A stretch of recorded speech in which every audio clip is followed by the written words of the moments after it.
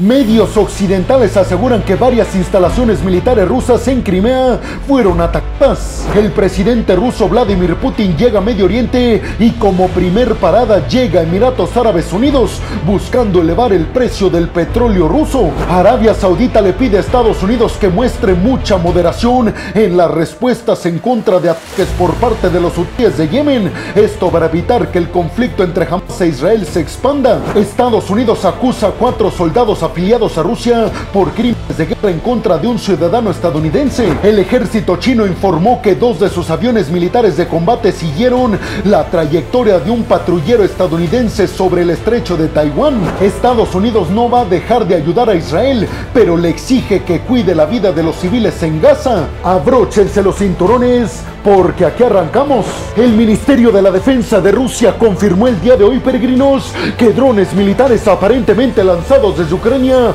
atacaron a varias posiciones militares, sobre todo almacenes de municiones y de combustible del ejército ruso en la península de Crimea. Recuerden perfectamente que ya les he mencionado que la península de Crimea está controlada de forma ilegal por los rusos desde el año del 2014, cuando invadieron en aquel año por primera vez el este, el sur y Crimea en Ucrania los rusos. El objetivo principal con estas acciones en contra de posiciones militares rusas fue acabar con el combustible que Rusia destina hacia sus tropas en Ucrania. La terminal que sufrió más ataques por parte de Rusia en Crimea contenía cerca de 30 tanques cargados de combustible que iban a ser enviados a las tropas rusas en el este y en el sur de Ucrania. Por eso aseguran varios medios occidentales que se trata de un gran golpe en contra de los intereses de Vladimir Putin, pero sobre todo en contra de los planes de llevarle los suministros que necesitan a los rusos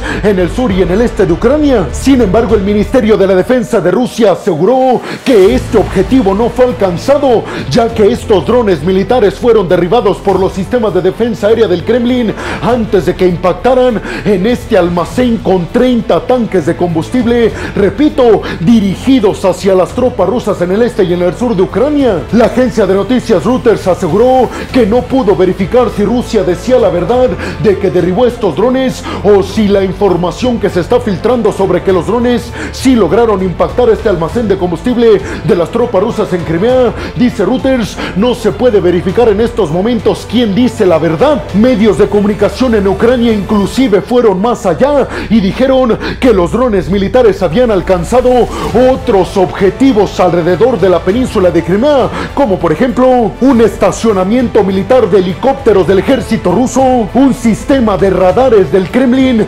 Nevo M y un complejo de radar también del ejército ruso P-18 Trek. Pero además los medios en Ucrania aseguran que lo más significativo fue que se acabó por completo con misiles antiaéreos del Kremlin que estaban resguardados en un almacén en Crimea. Se trata de los misiles antiaéreos rusos Baikal 1M. Ucrania no ha hecho comentarios al respecto, es decir, que no se ha adjudicado estas acciones. El Ministerio de la Defensa de Rusia confirmó que 31 drones militares provenientes supuestamente de Ucrania habían sido derribados sobre la península de Crimea. Recuerden ustedes que la península de Crimea es el objetivo principal de Zelensky, primero porque quieren retomar el control de lo que les quitaron los rusos desde el 2014, pero también porque la península de Crimea es la pieza clave de las cadenas de suministro de poderío militar y de combustible que van hacia las tropas rusas en el sur y en el este de Ucrania.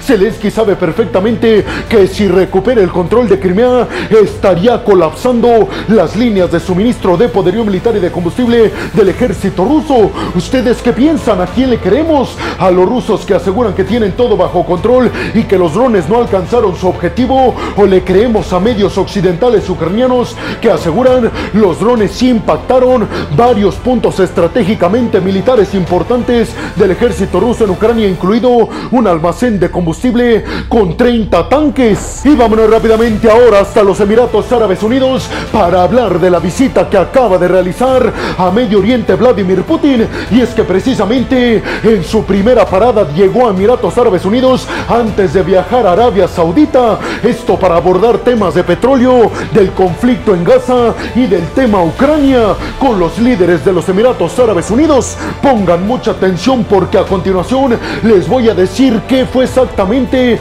de lo que hablaron el líder emiratí y el líder del Kremlin, Vladimir Putin. Y es que justamente esta visita de Vladimir Putin a Medio Oriente no crean que es de casualidad. Y es que se da justamente semanas después de que se empezara a caer el precio del petróleo a nivel mundial. ¿Y qué necesita el Kremlin para poder seguir financiando su invasión ilegal a Ucrania? Pues precisamente necesita que los precios del petróleo estén bastante elevados.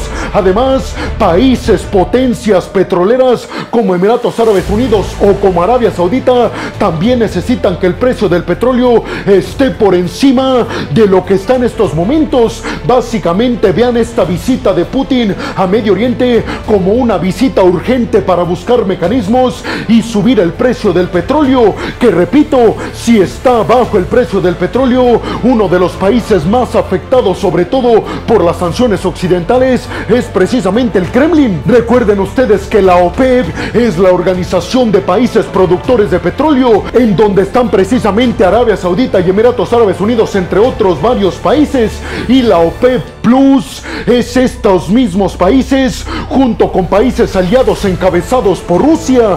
Recuerdan ustedes que hace ya varios meses la OPEP Plus acordó bajar la producción de barriles de petróleo para aumentar el precio del petróleo a nivel mundial, pues esa estrategia ya no les está funcionando, porque repito, el precio del petróleo a nivel mundial está cayendo estrepitosamente. Vladimir Putin llegó a los Emiratos Árabes Unidos en su avión presidencial que fue escoltado por dos aviones militares de combate rusos desde que salió de Rusia. Esto por cuestiones de seguridad nacional para evitar que alguien quisiera atacar el avión de Putin. Al Nayan, el líder emiratí, le dio la bienvenida a Vladimir Putin y aseguró que los Emiratos Árabes Unidos y Rusia tienen una extraordinaria relación, no solamente en cuestiones económicas, sino y sobre todo en cuestiones energéticas, refiriéndose al petróleo. Y el líder de los Emiratos Árabes Unidos también confirmó que los principales temas en la agenda con Vladimir Putin iba a ser el petróleo, específicamente su precio,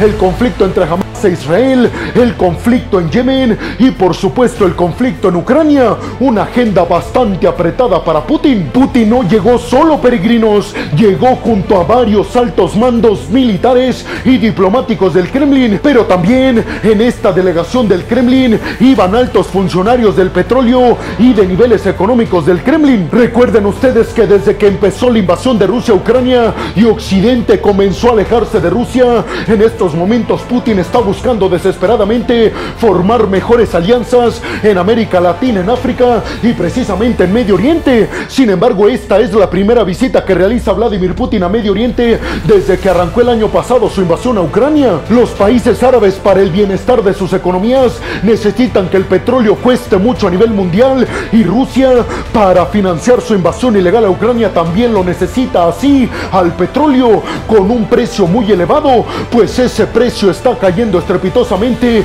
y es algo que no les gusta para nada a los miembros de la OPEP y mucho menos a los miembros de la OPEP Plus, en donde se incluye al Kremlin. Vladimir Putin en su discurso no dio detalles de lo que habló con el líder emiratí. Lo único que dijo es que todo lo malo que está pasando en el mundo, tanto en Ucrania como en la franja de Gaza, lo único que demuestra es que la política de Estados Unidos es un absoluto fracaso a niveles internacionales. Y es que hay que decir que desde que arrancó el conflicto entre Israel y Hamas, Putin ha buscado aumentar sus lazos con los países de Medio Oriente, buscando disminuir la influencia de los Estados Unidos, algo que muchos expertos aseguran no puede competir contra Estados Unidos. Si acaso China sí podría hacerlo. ¿Ustedes qué piensan? ¿Qué creen que se dijo sobre Ucrania? ¿Creen que los Emiratos Árabes Unidos están presionando a Putin para que ya deje de invadir Ucrania? ¿O es un tema que ya se ha olvidado? Y sobre todo, ¿creen que Putin logre su objetivo de convencer a los líderes árabes de bajar aún más la producción de barriles de petróleo para subir el precio de este a nivel mundial? ¿Creen que Putin tiene razón cuando asegura que el culpable de todo lo que está pasando en el mundo es Estados Unidos y su política internacional basada, según Putin, en el intervencionismo? Y vámonos rápidamente hasta el Mar Rojo para hablar en esta siguiente noticia de que Arabia Saudita le solicita a Estados Unidos que sea muy precavido con sus respuestas en contra de los ataques provenientes desde Yemen, es decir, en contra de los hutíes. Ya hemos hablado en repetidas ocasiones durante estos videos peregrinos de que los hutíes desde Yemen han lanzado misiles y drones militares en contra de buques comerciales que tienen algo que ver con Israel, pero también han intentado atacar a la quinta flota de Estados Unidos que está en esta región, pues precisamente debido a todo esto, Arabia Saudita le pide a Estados Unidos que ni se le vaya a ocurrir realizar un en contra de los hutíes. Todo esto porque Arabia Saudita está intentando que el conflicto no escale y piensa que si Estados Unidos no solamente se defiende, sino que lleva a cabo una respuesta en contra de los hutíes, eso va a hacer que el conflicto escale, el conflicto entre Israel y Hamas. Arabia Saudita dice que tiene información de que todos los ataques por parte de los hutíes en contra de buques comerciales en el Mar Rojo y en contra de posiciones militares estadounidenses son con motivo de apoyar a los extremistas de Hamas en contra de Israel y de Estados Unidos. Asegura Arabia Saudita que si se detiene el conflicto entre Israel y Hamas, los hutíes van a dejar de lanzar drones y misiles. El Pentágono hasta estos momentos no ha indicado que va a llevar a cabo una acción de respuesta y de represalia en contra de los hutíes. Hasta el momento el Pentágono ha asegurado que las únicas acciones que van a realizar los destructores estadounidenses pertenecientes a la quinta flota que están en esta región de Medio Oriente es detener los intentos de que los hutíes ataquen al territorio de Israel. Pero ustedes qué piensan? ¿Creen realmente que Estados Unidos se va a mantener así solo defendiéndose? ¿O creen que tarde o temprano va a llevar a cabo una respuesta catastrófica? Lo que podría provocar que la tensión en Medio Oriente se eleve a niveles más internacionales. Y vámonos rápidamente hasta Washington, hacia la capital de los Estados Unidos, para hablar en este siguiente tema de que desde Estados Unidos se acaba de acusar a cuatro militares rusos de llevar a cabo crímenes de guerra en contra de un ciudadano estadounidense. Esto cuando invadieron al principio en el 2022 el territorio ucraniano de forma ilegal. Y es que aseguran desde Washington, el ciudadano estadounidense estaba radicando en esta región invadida por los rusos en Ucrania. Y cuando lo encontraron los rusos, entonces llevaron a cabo crímenes de guerra en contra del ciudadano estadounidense. El documento se compone de nueve páginas y en este se demuestra con pruebas, supuestamente dice Washington, los crímenes de guerra que los soldados rusos llevaron a cabo en contra del ciudadano estadounidense. Estados Unidos ha reiterado que los militares rusos capturaron y llevaron a cabo acciones como golpes e interrogatorios muy forzados en contra del ciudadano estadounidense que no tenían nada que ver con el conflicto. Las acusaciones que está realizando Estados Unidos en contra de estos cuatro militares rusos se basan en el Acuerdo de Ginebra, que les explico en qué consiste. Y es que en la Convención de Ginebra se llevó a cabo un mandamiento internacional de qué acciones sí y qué acciones no eran permitidas en un contexto de guerra y conflicto y obviamente la y las acciones de los militares rusos no van acorde a los acuerdos de Ginebra. ¿Ustedes qué piensan? ¿Creen que estas acusaciones van a tener alguna repercusión en contra de los cuatro militares rusos que supuestamente cometieron estos crímenes de guerra en contra del ciudadano estadounidense? Y vámonos rápidamente hasta el estrecho de Taiwán para hablar en esta siguiente noticia de que China denunció a Estados Unidos por el paso de un patrullero de los Estados Unidos a través del estrecho de Taiwán. Ante esto, Pekín dijo que respondió enviando dos jets de combate a vigilar la trayectoria del avión patrullero de los Estados Unidos que, repito, estaba atravesando el estrecho de Taiwán. Y seguramente ustedes estarán preguntando, pero peregrino, ¿qué tiene de malo eso? Bueno, porque China reconoce que el estrecho de Taiwán es parte íntegra de su territorio, mientras que Taiwán y Estados Unidos aseguran que el estrecho de Taiwán corresponde a aguas internacionales. El patrullero estadounidense P-8A Poseidón pertenece a la séptima flota de Estados Unidos que opera en la región del Indo-Pacífico y aseguró la séptima flota estadounidense después de este incidente que Estados Unidos no violentó ninguna norma internacional ya que estaba atravesando espacio aéreo internacional y no espacio aéreo chino. Pero repito que aquí el problema es que China reconoce el estrecho de Taiwán como parte de su territorio, no como parte del espacio aéreo internacional. La séptima flota dijo que el compromiso de ellos, de la séptima flota de Estados Unidos, era mantener el Indo-Pacífico libre y seguro de acciones como las de Pekín. Van a ver ustedes que en los próximos días, cuando se acerque el 13 de enero y se lleven a cabo las elecciones en Taiwán, vamos a ir viendo cada vez más incidentes de este tipo. El problema aquí es que uno de estos incidentes pueda provocar un choque militar entre Taiwán y China o peor aún, entre Estados Unidos y Pekín. ¿Ustedes qué piensan? ¿Creen que el estrecho de Taiwán le corresponde a China? ¿Creen que se debe de considerar espacio aéreo y marítimo internacional? ¿Creen realmente que Estados Unidos logre imponer su ley en la región del Indo-Pacífico con la séptima flota? Que básicamente su objetivo es lo que ellos mismos dicen, mantener libre y seguro el Indo-Pacífico. Y vámonos rápidamente hasta la franja de Gaza para hablar en esta siguiente noticia de que supuestamente Estados Unidos